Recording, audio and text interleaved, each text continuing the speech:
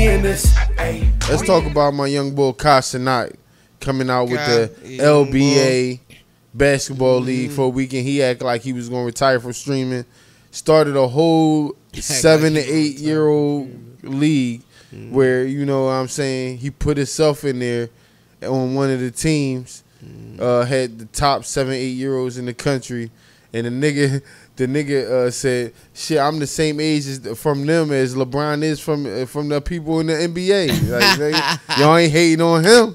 You know what I mean? Uh, how old is he? Who Kai? Yeah. He, he got to be like, like 26, something? something like 25, something like that. But the nigga funny as shit, bro. Oh yeah. He might be a little. He might be like 23. I don't know, yeah. but no, yeah, he don't think he that old, but he probably Yeah. like twenty something. Yeah, but um, the nigga he a genius, man. Like first he streamed from a prison, and had a bunch of mm-hmm. personalities come up there, Drewski, Chrisean mm-hmm. Rock, and a bunch of other motherfuckers up there. Mm-hmm. And now he uh did this shit. He's streaming a ba- whole basketball league, renting out the arena, had different teams, Yeah, that's had smart. the had the arena filled with people, had marching bands. Fucking uh, had Richard Jefferson and other people commentating on it. You know what I'm saying?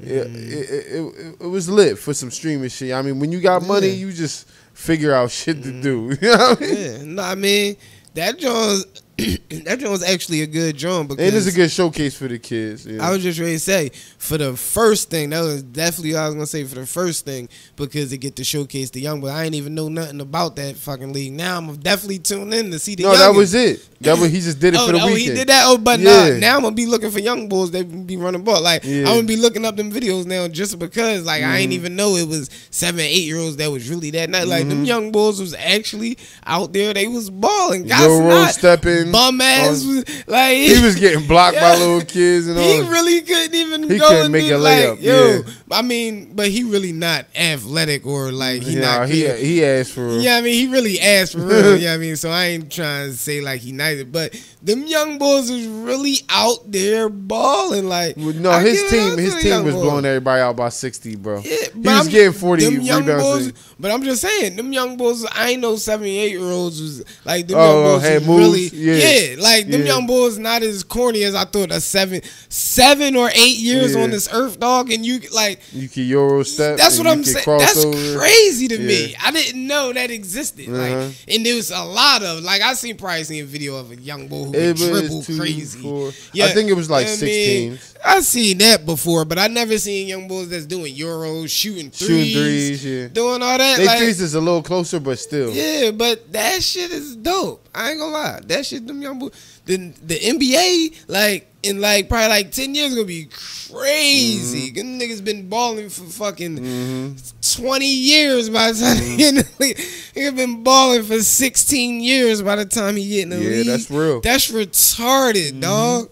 Yeah, that's great. But yeah, anyway. Shout out to Kai for Yeah, that, shout man. out to God for just for highlighting that, and for two, for really uh like putting money in a lot of people's pocket. I know he like sponsors. I know motherfuckers motherfuckers made money for that. I'm pretty sure he paid a lot of motherfuckers to Mm-hmm. be there. You know what I mean? Cut motherfuckers to check the arena, people Mm-hmm. who work there.